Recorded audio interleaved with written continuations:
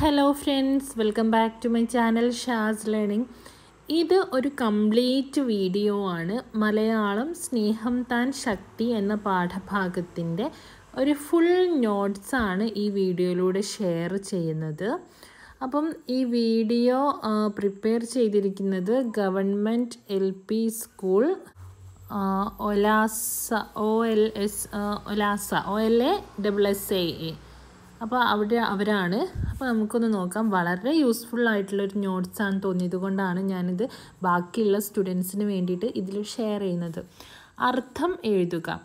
കുരുണിപ്പ് മുരടിപ്പ് ശോഭ ഭംഗി തെറ്റാലി കവണ അനുബന്ധം കൂട്ടിച്ചേർത്തത് പൊഴിയുക അടർന്നു വീഴുക മൃദുലം മാർദ്ദവമുള്ളത് വ്യാഹതി നിഷേധം തടസ്സം ലാക്ക് ലക്ഷ്യം ഒച്ച ശബ്ദം പീഡ ഉപദ്രവം വൃദ്ധി വളർച്ച ജഗത്ത് ലോകം ക്ഷുഭിതൻ ക്ഷോഭിച്ചവൻ അല്ലെങ്കിൽ കോപിച്ചവൻ വസന്തം പൂക്കാലം.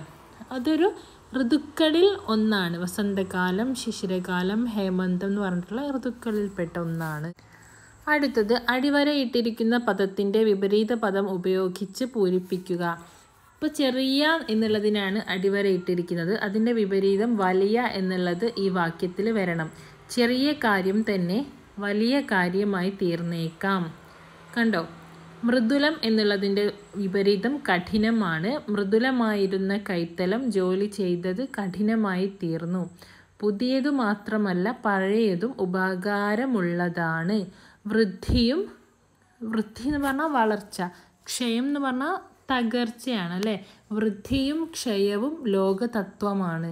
ജീവിതത്തിൽ ഉയർച്ചയും താഴ്ചയും ഉണ്ടായിരിക്കും. ഒരു കയറ്റം ഉണ്ടെങ്കിൽ ഒരു ഇറക്കവും ഉണ്ട്. ഇനി ആ വെച്ച് വിപരീത പദങ്ങളാവുന്ന വാക്കുകളാണ് നീതി അനീതി.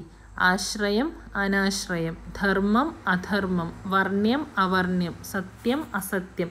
ഹിംസ അഹിംസ. സാധു അസാധു. ചരം അചരം. മാനുഷികം അമാനുഷികം. ആസ്ഥ അനാസ്ഥ. ഉപകാരം അപകാരം. നിരപരാധി അപരാധി. സുബദ്ധം അബദ്ധം. ആർത്തി അനാർത്തി. ഉപായം അപായം. ഉപചാരം അപചാരം. ഇനി പദങ്ങൾ പിരിച്ചെഴുതാം. പറന്നുപോയി പറന്ന് അധികം പോയി. തുള്ളിച്ചാടി തുള്ളി അധികം ചാടി. അതിലൊരു അതിൽ അധികം ഒരു. ഇലകളെല്ലാം ഇലകൾ അധികം എല്ലാം. പട്ടുപോലെ പട്ട് അധികം പോലെ. പൊഴിഞ്ഞു വീണു പൊഴിഞ്ഞ് അധികം വീണു. പൂച്ചെടി പൂ അധികം ചെടി. കയ്യിലിരുന്ന കയ്യിൽ അധികം ഇരുന്ന. തറയിലിട്ടു. തറയിൽ അധികം ഇട്ടു. മധുരമായി. മധുരം അധികം ആയി. ഇനി ഒറ്റപ്പദം എഴുതുക. ക്ഷോഭം വന്നവൻ ക്ഷുഭിതൻ. പൂവിന്റെ കുല പൂക്കുല. പൂക്കുന്ന ചെടി പൂച്ചെടി. മനുഷ്യന്റെ ശബ്ദം മനുഷ്യ ശബ്ദം. പശുവിന്റെ കിടാവ് പശുക്കിടാവ്. ആലിന്റെ ഇല ആലില. പറക്കുന്ന തളിക പറക്കും തളിക മധുരമുള്ള നാരങ്ങ മധുര നാരങ്ങ രാജാവിന്റെ കൊട്ടാരം രാജകൊട്ടാരം.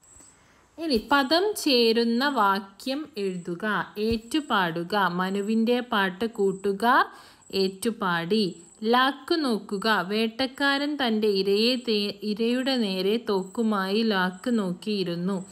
ലാക്ക് ലക്ഷ്യം വെക്കുക. അസാധാരണം. ലോകം മുഴുവൻ ഒരു അസാധാരണ രോഗം പടർന്നു പിടിച്ചിരിക്കുന്നു. അത്ഭുതം. കൊറോണയ്ക്കെതിരെയുള്ള അത്ഭുത മരുന്ന് ഉടൻ കണ്ടെത്തും. പ്രത്യക്ഷപ്പെടുക. പൊന്നമ്പലമേട്ടിൽ മകരജ്യോതി പ്രത്യക്ഷപ്പെട്ടു. ഇനി അർത്ഥവ്യത്യാസം വരാതെ അടിവരയിട്ട പദം വാക്യത്തിന്റെ മറ്റൊരു ഭാഗത്ത് ചേർത്ത് വാക്യം മാറ്റിയെഴുതുക. ഒരിക്കലും ഒരു പക്ഷി പേടിയില്ലാതെ ഇത്ര അടുത്തു വന്നിരിക്കുന്നത് കുട്ടൻ കണ്ടിട്ടില്ല. ഒരു പക്ഷി പേടിയില്ലാതെ ഇത്ര അടുത്തു വന്നിരിക്കുന്നത് കുട്ടൻ ഒരിക്കലും കണ്ടിട്ടില്ല. ഒരിക്കലും എന്നുള്ളത് മാറ്റി എഴുതി അല്ലേ? മൈന ഓരോ കൊമ്പിലും മാറി മാറി ഇരുന്നു. ഓരോ കൊമ്പിലും മാറി മാറി മൈന ഇരുന്നു. നോക്കിക്കേ അർത്ഥത്തിൽ എന്തെങ്കിലും വ്യത്യാസമുണ്ടോ? ഇല്ല. ആ പാട്ടിന്റെ മാധുര്യം അസാധാരണമായിരുന്നു. അസാധാരണമായിരുന്നു ആ പാട്ടിന്റെ മാധുര്യം. അവർ കളിക്കുകയാണ് മുറ്റത്ത്. മുറ്റത്ത് അവർ കളിക്കുകയാണ്. അവന് തോന്നി പതുക്കെ അടുത്തു ചെന്നാൽ അതിനെ കയ്യിലെടുക്കാമെന്ന് പതുക്കെ അടുത്തു ചെന്നാൽ അതിനെ കയ്യിലെടുക്കാമെന്ന് അവന് തോന്നി. ഇനി കുട്ടൻ ക്ഷുഭിതനായതെന്തുകൊണ്ട്? മുറ്റത്ത് കളിച്ചുകൊണ്ടിരിക്കുന്ന കുട്ടൻ കുട്ടന്റെ അരികിൽ ഒരു മൈന വന്നിരുന്നു. മൈനയെ പിടിക്കാനായി അതിന്റെ തൊട്ടടുത്ത് കുട്ടൻ എത്തിയപ്പോൾ മനുഷ്യർ ചിരിക്കുന്ന സ്വരത്തിൽ ഒച്ചയുണ്ടാക്കിക്കൊണ്ട് അത് പറന്നുപോയി. ഇത് കണ്ടിട്ടാണ് കുട്ടൻ ക്ഷുഭിതനായത്. ലൈലയ്ക്കും കുട്ടനും അമ്മ പകർന്നു കൊടുത്ത പാഠം എന്തായിരുന്നു? ഒരു പീഡയുറുമ്പിനും വരുത്തരുതെന്നാണ് കുട്ടനും ലൈലയ്ക്കും അമ്മ പകർന്നു കൊടുത്ത പാഠം. ഒരു പീഡ എറുമ്പിനും വരുത്തരുത്. ഈ വരികൾ ആരുടേതാണ്? ശ്രീനാരായണ ഗുരുവിന്റെ അനുകമ്പാ ദശകത്തിലേതാണ് ഈ വരികൾ. മൈനയുടെ പാട്ട് കേട്ട് മരത്തിനുണ്ടായ മാറ്റം എന്താണ്? മധുരമായി പാടിക്കൊണ്ട് മൈന മാവിൻ കൊമ്പിലിരുന്നപ്പോൾ അതിൽ ഉണങ്ങിയും മുരടിച്ചും നിന്നിരുന്ന ഇലകളെല്ലാം പൊഴിഞ്ഞു താഴെ വീണു. അതിനു പകരം പട്ടുപോലെ മൃദുലമായ തളിരിലകൾ കൊമ്പിലാകെ വന്നു നിറഞ്ഞു. കൊമ്പിന്റെ അറ്റത്തെല്ലാം പൂക്കുലകളും നിറഞ്ഞു. അടുത്തത് മൈനയുടെ പാട്ട് കുട്ടികൾ ഏറ്റുപാടിയപ്പോൾ ചുറ്റുപാടിനുണ്ടായ മാറ്റങ്ങൾ എന്തെല്ലാമാണ്? മൈന പാടിയ പാട്ട് കുട്ടികൾ എവിടെയെല്ലാം നിന്ന് പാടിയോ അവിടെയെല്ലാം നല്ല ശോഭയും മണവും തേനുമുള്ള പൂക്കൾ ഉതിർത്തുകൊണ്ട് ഓരോ ചെടി പ്രത്യക്ഷപ്പെട്ടു. മൈന മനുഷ്യ ശബ്ദത്തിൽ പാടിയ പാട്ട് ഏതാണ്? ആരുടെ വരികളാണിത്? കുമാരൻ ആശാന്റെ ചെണ്ടാല ഭിക്ഷുകി എന്ന കാവ്യത്തിൽ നിന്നുമുള്ള വരികളാണിത്. സ്നേഹത്തിൽ നിന്നുദിക്കുന്നു ലോകം സ്നേഹത്താൽ വൃദ്ധി തേടുന്നു. സ്നേഹം താൻ ശക്തി ജഗത്തിൽ സ്വയം സ്നേഹം താൻ ആനന്ദമാർക്കും. സ്നേഹം താൻ ജീവിതം ശ്രീമാൻ സ്നേഹവ്യാഹതി തന്നെ മരണം. ചേട്ടാ ഇത് വെറും ഒരു മൈനയല്ല. എന്തുകൊണ്ടായിരിക്കും ലൈല ഇങ്ങനെ പറഞ്ഞത്? ലൈലയുടെ വീട്ടുമുറ്റത്തുണ്ടായിരുന്ന ഉണങ്ങി മുരടിച്ച ഇലകളുള്ള മാവിൽ പാട്ടുപാടി മൈന വന്നിരുന്നു. അപ്പോൾ പഴയ ഇലകളെല്ലാം കൊഴിഞ്ഞ് പുതിയ ഇലകളും പൂക്കളും മാവിലാകെ നിറഞ്ഞു. ഇത് കൊ ഇത് കണ്ടാണ് അത് വെറുമൊരു മൈനയല്ല. എന്ന് ലൈല പറഞ്ഞത്. നമ്മൾ കുറച്ച് സ്പീഡിലാണ് പോകുന്നത്. കാരണം ഈ പ്രവർത്തനങ്ങളെല്ലാം നമ്മൾ ചെയ്തതാണ്. ചെയ്യാത്തത് ഏതെങ്കിലും വിട്ടുപോയിട്ടുണ്ടെങ്കിൽ കൂട്ടിച്ചേർക്കാൻ മറക്കരുതേ. സ്നേഹവചനങ്ങൾ ശേഖരിക്കാം. നിന്നെപ്പോലെ നിന്റെ അയൽക്കാരനെയും സ്നേഹിക്കുക. സ്നേഹിക്കയുണ്ണി നീ നിന്നെ ദ്രോഹിക്കുന്ന ജനത്തെയും. ഇതുപോലെ സ്നേഹത്തിന്റെ മഹത്വം സൂചിപ്പിക്കുന്ന വചനങ്ങൾ ശേഖരിക്കുക. സ്നേഹമാണ് അഖിലസാരമൊഴിയിൽ സ്നേഹസാരമിഹ സത്യമേകമാം. കുമാരനാശാന്റെ വാക്കുകളാണ്. ഒരൊറ്റ മതമുണ്ടുലകിന്നുയരാം പ്രേമമതൊന്നല്ലോ പരയ്ക്ക് നമ്മെ പാലമൃതൂട്ടും പാർവണ ശിശുബിംബം. ഉള്ളൂർ പാടിയതാണ്. സ്നേഹിക്കയല്ല ഞാൻ നോവും ആത്മാവിനെ സ്നേഹിച്ചിടാത്തൊരു തത്വശാസ്ത്രത്തെയും വയലാർ പാടിയതാണ്. വിശുദ്ധി എന്നത് സ്നേഹത്തിന്റെ നിഴലിൽ നിന്നും വരുന്നതത്രേ ടാഗോർ പറഞ്ഞിട്ടുള്ളതാണ്. സ്നേഹമില്ലാത്ത ജീവിതം ഇലകളും പഴങ്ങളും ഇല്ലാത്ത മരം പോലെയാണ് ഖലീൽ ജിബ്രാൻ. സ്നേഹമില്ലാത്ത ജീവിതം എന്നത് മരണത്തിന് തുല്യമാണ്. ഗാന്ധിജിയും സ്നേഹത്തെക്കുറിച്ച് പറഞ്ഞിട്ടുണ്ട്. അടുത്തത്. ഒരു പീഡ എറുമ്പിനും വരുത്തരുത് എന്നതിലെ ആശയമെന്ത്? ലഘുകുറിപ്പ് തയ്യാറാക്കുക. സഹജീവികൾക്ക് ഉപദ്രവകരമായ രീതിയിലുള്ള പ്രവർത്തികൾ ചെയ്യരുത്. എല്ലാറ്റിനോടും സ്നേഹത്തോടെ പെരുമാറണം എന്ന വലിയ ആശയമാണ് ഒരു പീഠയെറുമ്പിനും വരുത്തരുത് എന്നതിലുള്ളത്. ഏറ്റവും നിസ്സാരമെന്ന് മനുഷ്യർ കരുതുന്ന ജീവിയാണ് ഉറുമ്പ്. ഉറുമ്പിനെ പോലും ദ്രോഹിക്കരുത് എന്ന് പറയുന്നതിൽ നിന്ന് മറ്റുള്ളവരോട് നമുക്കുള്ള മനോഭാവം എന്തായിരിക്കണമെന്ന് വ്യക്തമാക്കുകയാണ് ചെയ്യുന്നത്.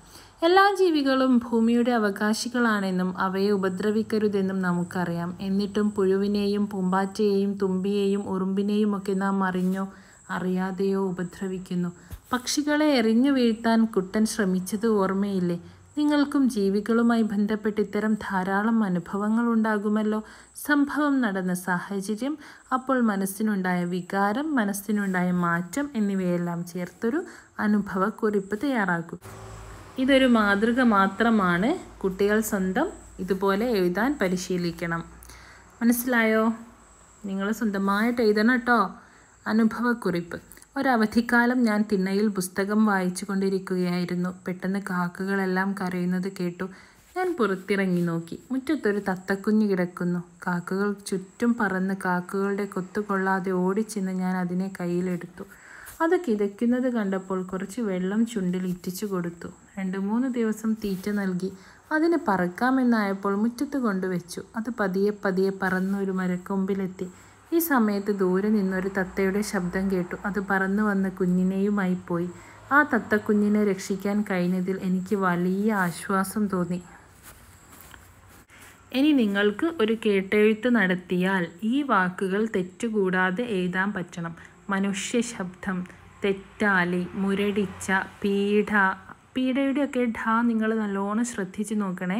അബദ്ധം അബദ്ധം അബദ്ധം കുരുണിപ്പ് അനുബന്ധം അനുബന്ധം അസാധാരണം ക്ഷുഭിതൻ മാധുര്യം പ്രത്യക്ഷപ്പെടുക വൃദ്ധ ലാക്ക് നോക്കുക. ലാക്ക് നോക്കുക എന്നൊക്കെ പിന്നെ നിങ്ങൾക്ക് കിട്ടും. പക്ഷേ വൃദ്ധ വൃദ്ധ വൃദ്ധയുടെ ധായൊക്കെ നോക്കണം. അബദ്ധം അനുബന്ധം അബദ്ധത്തിലുള്ളതും അനുബന്ധത്തിലുള്ളതും വ്യത്യസ്തമായിട്ടുള്ളതാണ് നിങ്ങൾ നോക്കി മനസ്സിലാക്കുക. അവസാനം നിത്യചൈതന്യതയെക്കുറിച്ച് പരിചയപ്പെട്ട് നമുക്ക് ക്ലാസ് അവസാനിപ്പിക്കാം. നവംബർ ആയിരത്തി തൊള്ളായിരത്തി ഇരുപത്തി നാല് നവംബർ രണ്ടാം തീയതി പത്തനംതിട്ട ജില്ലയിലെ മുറിഞ്ഞിക്കുലിൽ വകയാർ ജനനം ജയചന്ദ്രൻ എന്നായിരുന്നു. നിങ്ങൾ വായിച്ചു നോക്കിയാൽ മതി അല്ലേ? അപ്പം പിന്നീട് നമ്മളിത് എഴുതിയതുമാണ്. സന്യാസം സ്വീകരിച്ചപ്പോൾ പേര് നിത്യചൈതന്യതി എന്നാക്കി. ആദ്യത്തെ പേര് ജയചന്ദ്രൻ എന്നാണ്. പിന്നീട് സന്യാസം സ്വീകരിച്ചപ്പോഴാണ് പേര് മാറ്റിയിട്ടുള്ളത്. അധ്യാപകനായിരുന്നു. പരിവർത്തനോന്മുഖ വിദ്യാഭ്യാസം സത്യത്തിന്റെ മുഖങ്ങൾ ഭാരതീയ മനഃശാസ്ത്രത്തിനൊരാമുഖം നളിനി എന്ന കാവ്യശില്പം ജാതി മതം ദൈവം യതിചര്യ മനഃശാസ്ത്രം ജീവിതത്തിൽ തുടങ്ങി നിരവധി കൃതികൾ രചിച്ചു. കേരള സാഹിത്യ അക്കാദമിയുടെ അവാർഡ് ലഭിച്ചിട്ടുണ്ട്. ആയിരത്തി തൊള്ളായിരത്തി തൊണ്ണൂറ്റി ഒമ്പത് മെയ് പതിനാലിന് അന്തരിച്ചു. നിത്യചൈതന്യതയെക്കുറിച്ച് അദ്ദേഹത്തെക്കുറിച്ച് വ്യത്യസ്തമായിട്ട് ഡീറ്റെയിൽ ആയിട്ടുള്ളൊരു ഇത് തന്നെ നമ്മൾ ഓൾറെഡി ചെയ്തിട്ടുണ്ട്. അതൊക്കെ നിങ്ങൾ നമ്മുടെ ചാനലിന്റെ ഹോം പേജിൽ പ്ലേലിസ്റ്റ് എന്ന ഓപ്ഷൻ എടുക്കുക. അതിൽ നിങ്ങൾക്ക് കിട്ടും. ഓക്കെ